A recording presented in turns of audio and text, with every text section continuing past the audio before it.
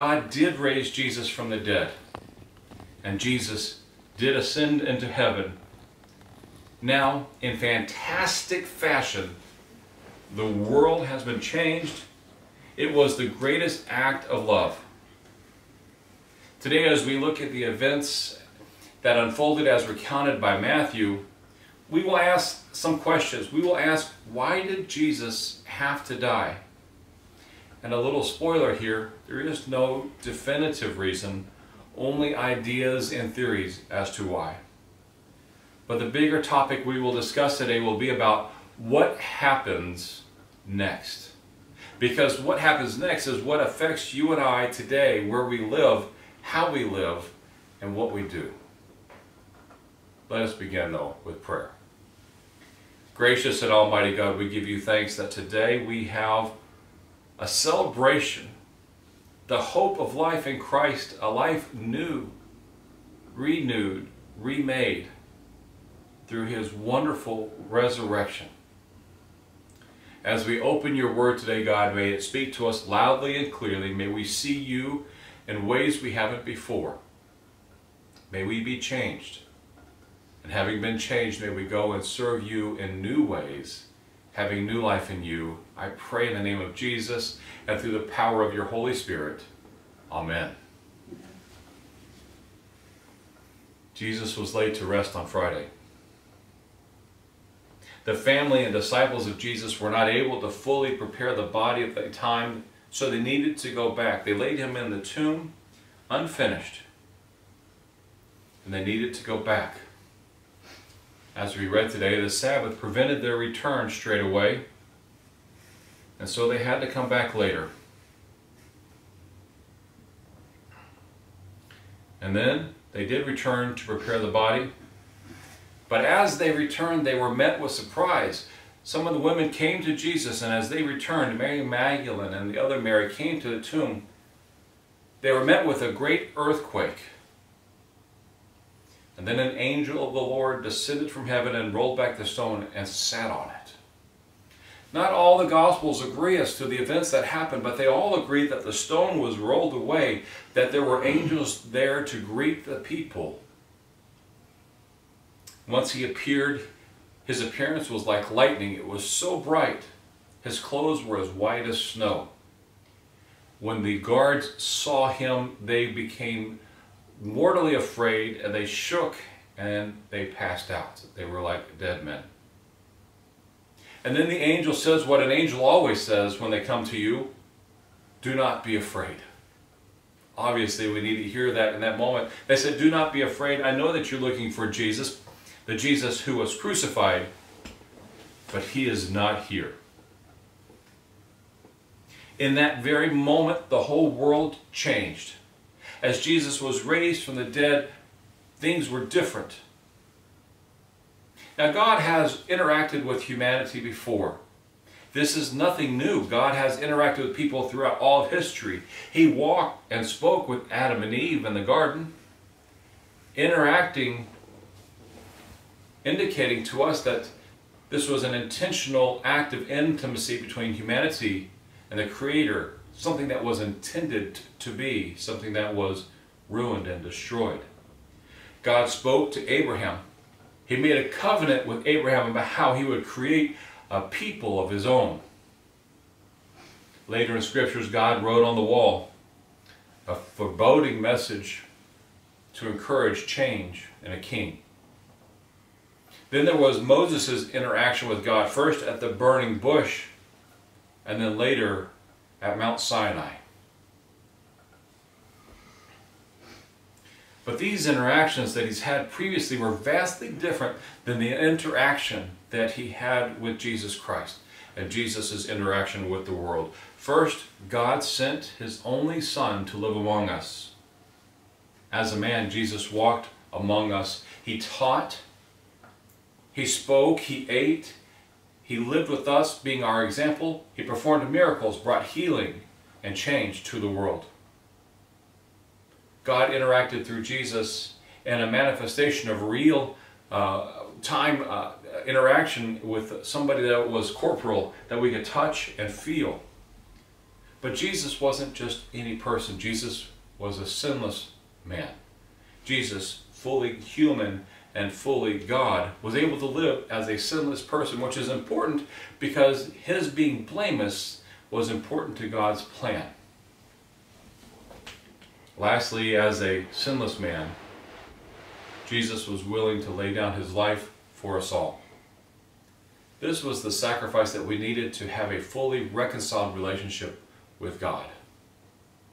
In an unprecedented way, God interacted with the world to bring about all that was necessary and needed for us to have a fully healed and a right relationship with God. This was the ultimate act of love for all times. God sent his only Son into the world, a world that would eventually reject and kill him. God sent his Son who lived a sinless and blameless life and was finally willing to lay down his life for all of humanity. But then God performed the incredible miracle of raising his son from the dead. After being in the grave for three days, God did the miraculous. He raised Jesus from the dead. Oddly, though, that's not the first time this has happened. It's not the first time somebody was raised from the dead. You remember the story of Jesus and Lazarus. Lazarus had been in the grave four days, and Jesus came to be with Martha and with Mary, who were grieving their brother's passing. And he raised, uh, raised Lazarus from the dead. It was a bit of foreshadowing of what was to come. It showed that if Jesus had the power to raise somebody from the dead, then God the Father would be even more capable. It meant that when the disciples saw that, that death could not hold Jesus, they would not be entirely shocked, for they had seen this before. Now, I ask that you allow me to be a little bit more deeply theological for a moment. This is a subject on which much time has been spent and much ink spilt trying to answer the why Jesus needed to die for our sins in order for our sins to be forgiven. And while we join in this conversation, I want to start with a little caveat. I want to let you know that we can only suppose the why. The reality is that despite all the time that's been spent and all the ink that has been spilt on this subject, they are still our best guesses as to why Jesus had to die, what his blood had to do with our forgiveness. The early church fathers wrestled with this way back in the fourth century, trying to make sense of why Jesus had to die.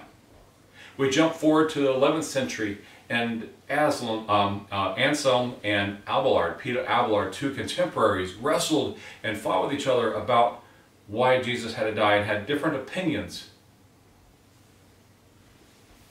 And today we still struggle with why. Now, what we know is God provided the means by which people of God could atone for their sins. Something that had been put in place long before Jesus.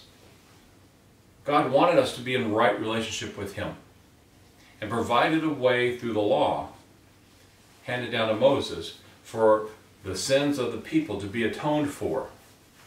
The Day of Atonement, Yom Kippur, is the day when the blood of the Lamb was used to clean or expiate the sins of the people.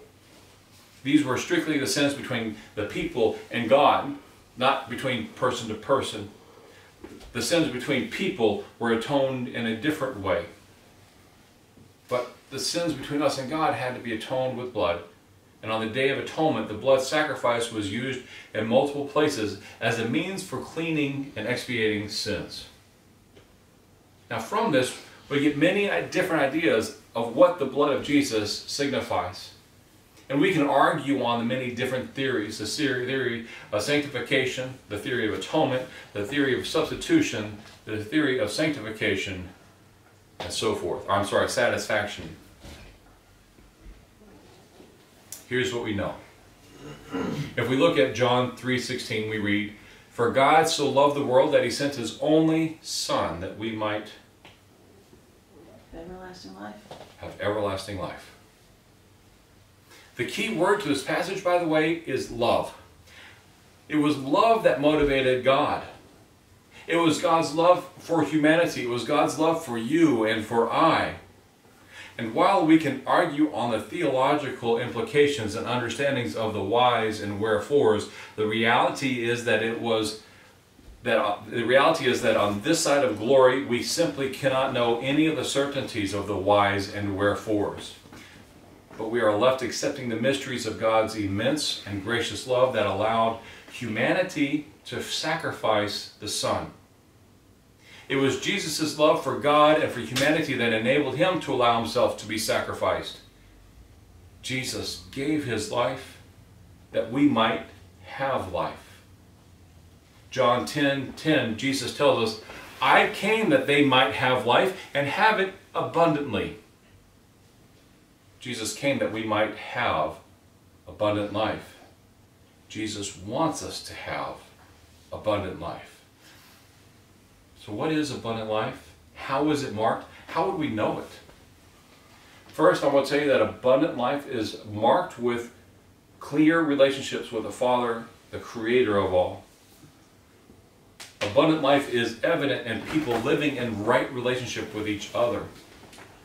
The clearest evidence of sin is a broken relationship. Sin destroys relationships. That is the, uh, the, the, the, the curse of sin. Adam and Eve, when they sinned, they had a broken relationship with God. From then on, we have suffered with broken relationships, person to person, people to God. And over and over again, we've had to have a way of coming back to God, a way of making our relationships right again. A clear marker of abundant life is a life and a relationship that has been healed and made whole. Christ died that we might have life in abundance. Our relationship with God was made right in what He did, in His sacrifice. He gave us a way to have a good and whole relationship with God. Something that is missing when we sin, something that is destroyed when we sin. Our relationship with God is made right, and our relationship with each other is made right. This life and abundance is for our eternal life, yes but it is also for the here and the now. We have a relationship to be in relationship with God. We have an opportunity to be in relationship with God here and now. Abundant life here on earth and forevermore. We need to know that it was God's love through Jesus Christ that gives us life in abundance both now and forevermore. But there's something else we need to be aware of. On the cross, Christ offered us forgiveness. Through his sacrifice, we were all forgiven. But that's only half of the equation. Forgiveness is only the start. If God's love is, is evidence in relationship made right, then we are called beyond the point of just accepting that forgiveness that has been offered to us. Just accepting that forgiveness, by the way, is what Bonhoeffer calls cheap grace. We're called beyond just accepting. We're called to do something more. We're called to live in that restored relationship with God. We need the forgiveness that Christ offers. We need that pathway to God that was broken through our own sinfulness. We have broken a relationship with the Creator.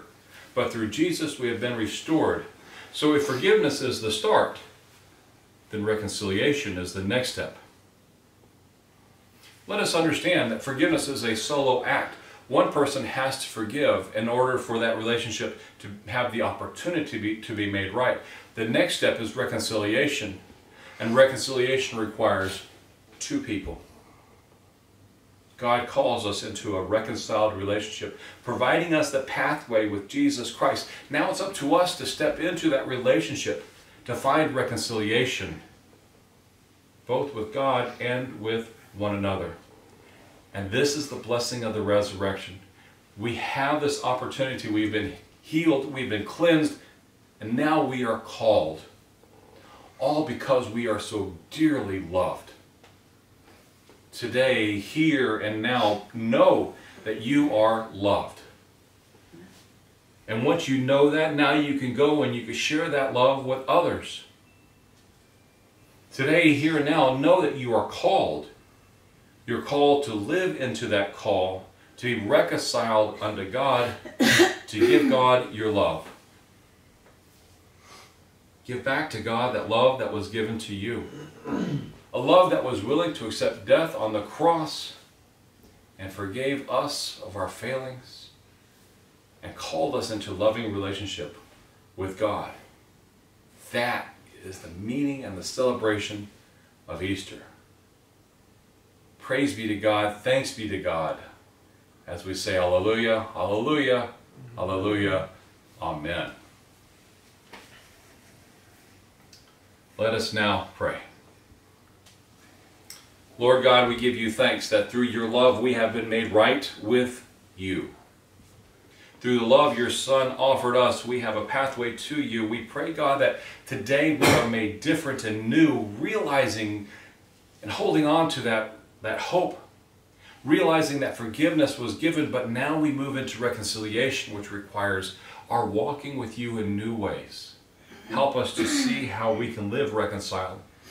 Give us the strength to move into that new life that you give to understand how we can live a reconciled life, to join in relationship with you new today. Then help us to share that with the world, God. Even though we are separate and alone, help us to find a way to reach out to share that good and wonderful news. We pray in Jesus' name. Amen. Amen. Before we finish,